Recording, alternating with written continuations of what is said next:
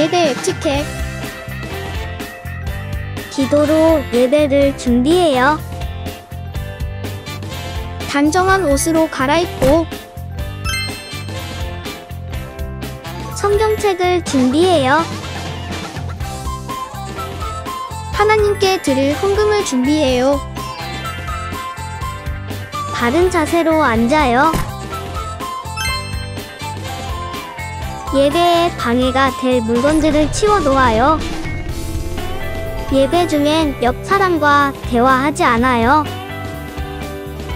소리 높여 찬양하고 예배를 정성 다해 드려요. 오늘도 예배 드릴 준비됐나요?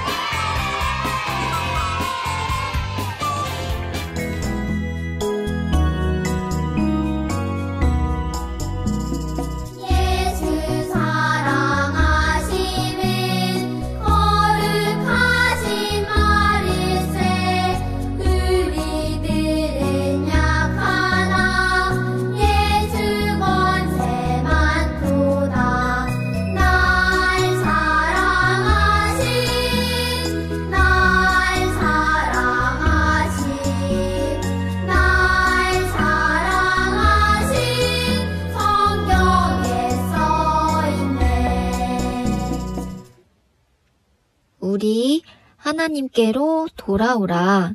그가 너그럽게 용서하시리라. 이사야 55장 7절 말씀. 아멘.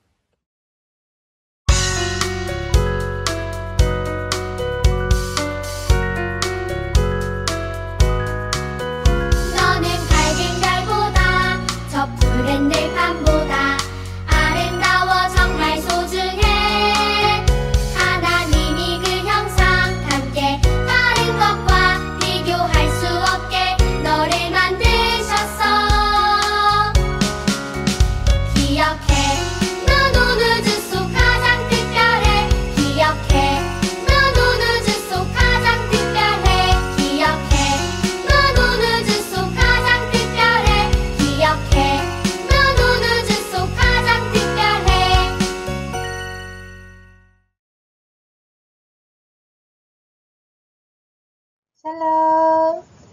친구들 다시 만나서 반가워요.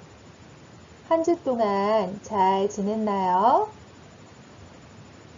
네, 오늘도 하나님이 살아계셔서 우리를 변함없이 사랑하신다는 것을 깨닫는 귀한 시간이 되길 간절히 바래요. 자, 그럼 하나님 말씀 들을 준비 되었나요? 그럼 제목부터 같이 읽어보아요. 하나님의, 하나님의 자녀답게, 자녀답게 살아요, 살아요. 다니엘 1장 8절 말씀. 아멘. 다니엘 1장 8절 말씀. 아멘. 여러분, 오늘은 월, 화, 수, 목, 금, 토, 일 중에서 무슨 요일일까요? 그래요. 오늘은 일요일, 바로 주일이에요. 주일은 아주 특별한 날이에요. 주일이 되면 우리는 어디에서 예배를 하나요? 그래요. 교회에 와서 예배를 해요. 은혁이에게 고민이 생겼어요.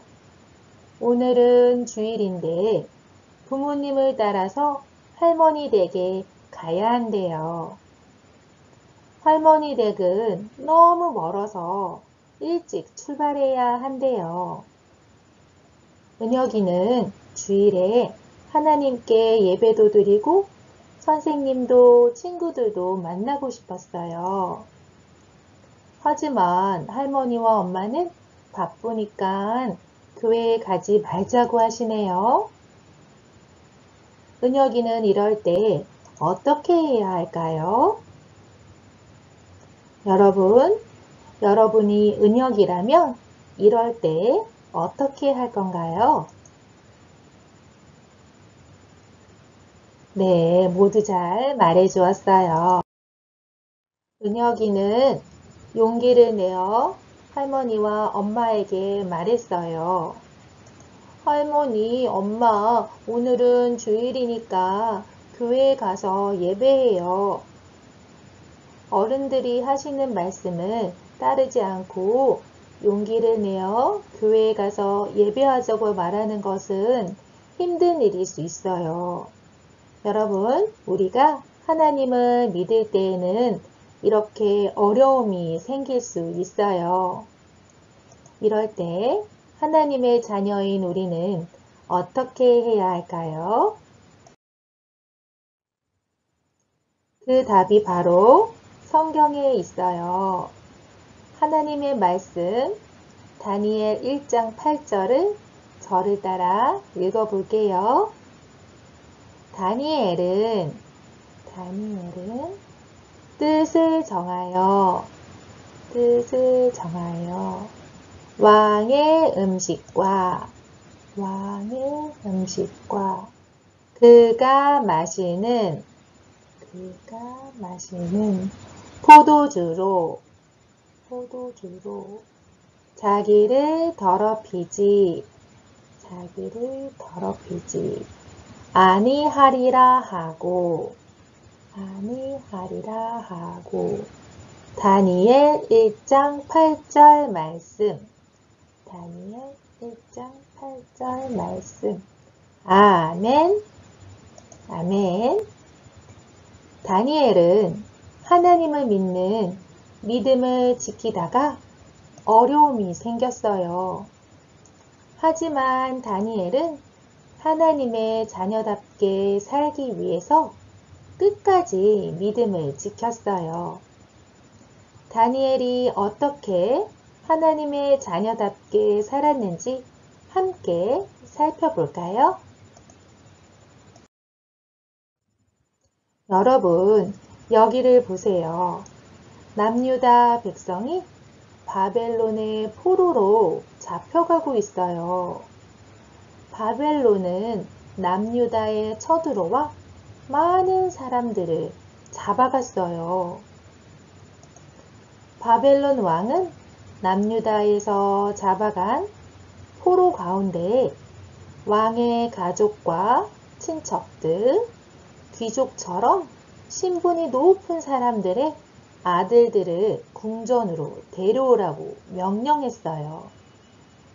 그래서 건강하고 잘생기고 똑똑하고 지혜로운 소년들이 뽑히게 되었어요.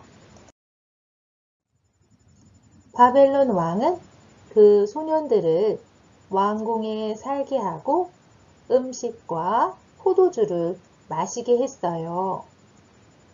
그리고 바벨론의 말을 가르치고 바벨론 사람들이 공부하는 것들을 배우게 했어요. 지혜로운 남유다 소년들이 바벨론 왕을 섬기게 하기 위해서였어요.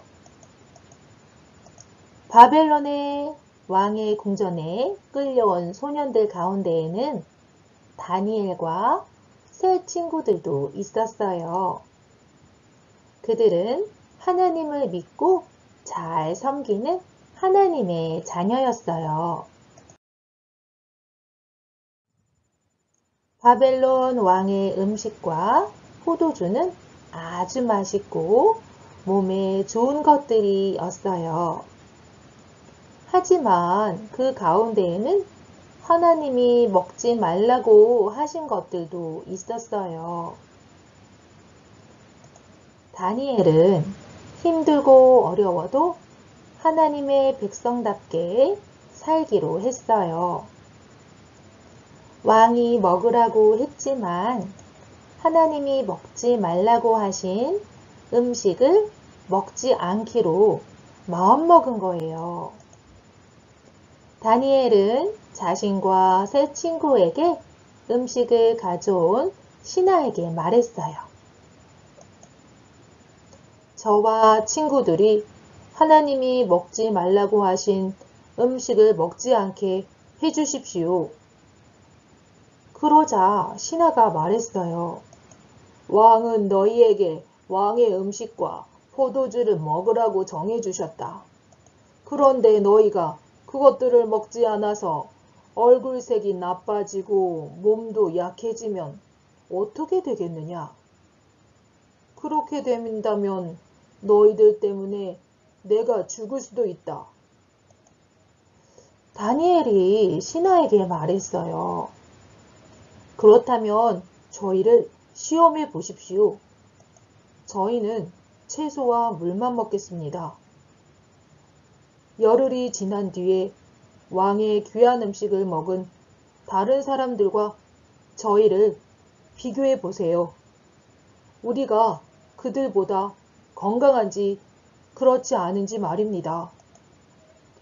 다니엘과 세 친구가 하나님을 믿지 않는 바벨론 왕의 음식을 먹지 않는다는 것은 어려운 일이었어요.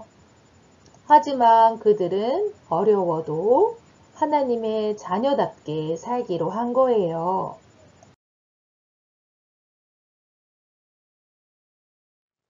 하루, 이틀, 사흘, 나흘, 열흘, 다니엘과 세 친구가 신하와 약속한 10일이 지났어요. 다니엘과 세 친구는 어떻게 되었을까요? 신하는 다니엘과 세 친구들을 보고 깜짝 놀랐어요. 그들은 왕의 음식과 포도주를 먹은 사람들보다 훨씬 얼굴색도 좋고 건강해 보였어요.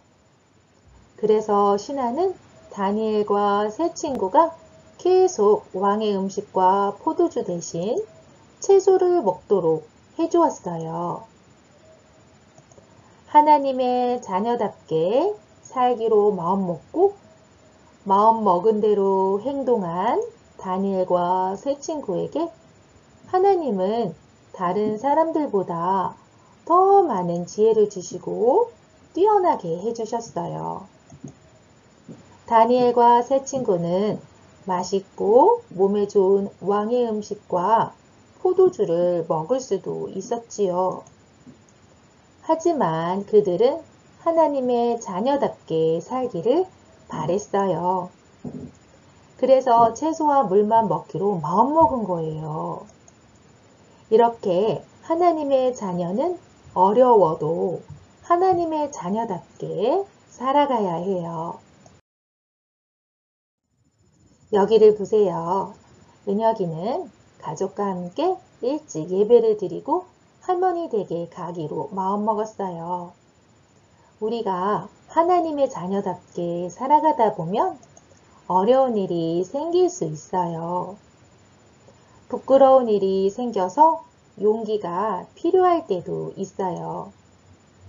하지만 어렵고 힘들어도 우리는 다니엘처럼 하나님의 자녀답게 살아가야 해요. 이 사실을 기억하며 다 같이 저를 따라 외쳐볼까요? 어려워도, 어려워도 하나님의, 하나님의 자녀답게 살아요. 자녀답게 살아요. 네, 아주 잘했어요. 다니엘과 새 친구가 어려움이 와도 하나님의 자녀답게 살기로 마음먹고 행동한 것처럼 우리도 어려움 가운데서도 하나님의 자녀답게 살아가길 바래요. 두 손 모으고 함께 기도합니다. 하나님, 오늘 성경 이야기를 통해서 다니엘이 어려움을 처했을 때 하나님의 자녀답게 살기로 결심하고 행동했던 것처럼 우리도 어떤 어려움이 있을지라도 하나님의 자녀답게 살 수 있는 용기와 지혜를 더하여 주시옵소서 거룩하신 예수 이름으로 기도합니다. 아멘.